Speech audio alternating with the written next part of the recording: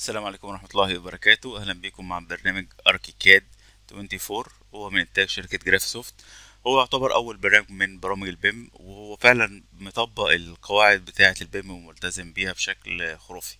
وهتلاقي شوية مزايا حلوة جدا هتعجبك إن شاء الله.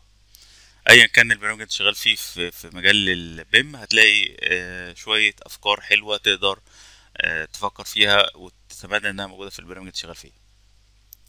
بنلاقي هنا إن أنا أقدر أبدأ جديد أو browse أو teamwork لو هنشتغل مع بعض. طيب هقول له new تمام. فبيقول لي the CodeMeter hardware key you are currently using to be convert to HID طيب. هقول له close. بيقول لي هتبدأ من template وتلاقي كذا template تقدر تقول له browse template وتدور على امتداد TPL طيب هقول له نيو.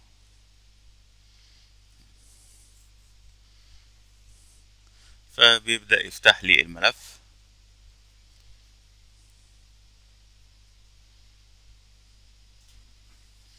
دي الواجهة بشكل بسيط خالص. هتلاقي هنا القوائم المنيو. هتلاقي هنا قائمة هيلب طبعا كل القوائم ده هنتكلم عنها بالتفصيل إن شاء الله.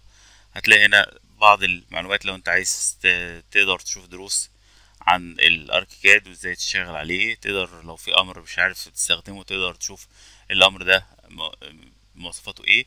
قائمة windows هتلاقي هنا كذا toolbar تقدر تفتحهم وتقدر تشتغل عليهم. مثلا model check هو تقدر تسحبه مثلا تحطه في أي مكان أنت عايزه. وهتلاقي هنا في القائمة أوامر كتيرة جدا. في أوامر خاصة بال design إن أنت تبدأ ترسم. في حاجات خاصة بال viewpoint أنت تحط section أو elevation في حاجات خاصة بالكتابات وال document هتلاقي هنا بقى اللي هي ال project browser اللي هي ال ground story 1 story 2 وهكذا. ال details كل الحاجات اللي إحنا محتاجين إن إحنا نشوفها والفيشن هو موجود. هعمل عليه select وادوس right click واقول له إن أنا عايز أشوف ال selection دوت. لما تعمل ال setting بتاعته أو تقول له افتحه لي بالشكل دوت. وهي الادوار اللي إحنا اتكلمنا عنها؟ ال ground وال story 1 story 2 ونرجع هنا. هتلاقي الأوامر بتاعت إن أنت ترسم مثلا wall column beam.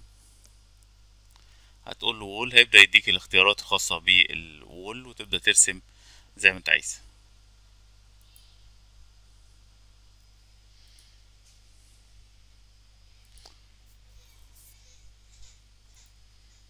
تقدر تقول له أنا عايز أعمل snap لأي حاجة أنت عايزها مرسومة أو تعمل fit windows بالشكل دوت. اهو